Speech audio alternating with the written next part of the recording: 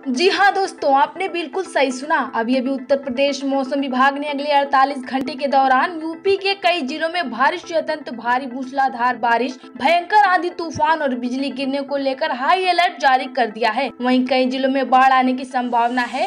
तो अगर आप उत्तर प्रदेश के किसी भी ज़िले से रहते हैं तो इस खबर को एकदम आखिर तक ज़रूर देखिएगा। और वीडियो को लाइक अभी कर दें और नीचे कमेंट करके अपने ज़िले का नाम ज़रूर लिखें। सीधे बात करते हैं यूपी के मौसम समाचार की तो मौसम विभाग के ताज़ा अनुमान के मुताबिक ब्रज क्षेत्र के कुछ जिलों को छोड़कर पूरे प्रदेश में हल्की सी मध्यम बारिश होती रहेगी।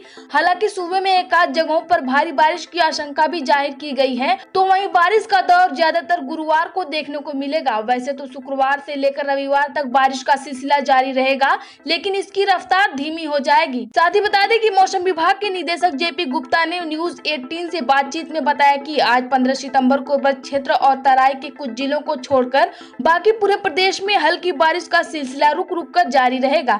एक दो जगहों पर तो भारी बारिश की संभावना है, लेकिन ज़्यादातर इलाकों में हल्की ही बारिश होती रहेगी। बता दें की इन दिनों तेज ठंडी हवाएँ भी चल रही है। ये कब तक थमेगी, इसे लेकर जेपी गुप्ता ने बताया की छत्तीसगढ़ में कम दबाव का क्षेत्र बना हुआ है, जिसकी वजह से तेज हवाएँ चल रही हैं। शुक्रवार से हवा की रफ्तार कम हो जाएगी। इसके साथ ही अनुमान के मुताबिक 16 सितंबर को बलरामपुर में तेज बारिश की संभावना है। इसके अलावा मध्य प्रदेश, बिहार और राजस्थान से सटे जिलों में बारिश हो सकती है। साथ ही 17 सितंबर को बुंदेलखंड, ब्रज क्षेत्र और मध्य यूपी के कुछ जिलों में बारिश का अनुमान लगाया गया है। तराई और पूर्वांचल के जिलों में बारिश की संभावना नहीं है। इसके अलावा अठारह सितंबर को पश्चिमी यूपी और नेपाल की सीमा से लगे जिलों में बारिश हो सकती है।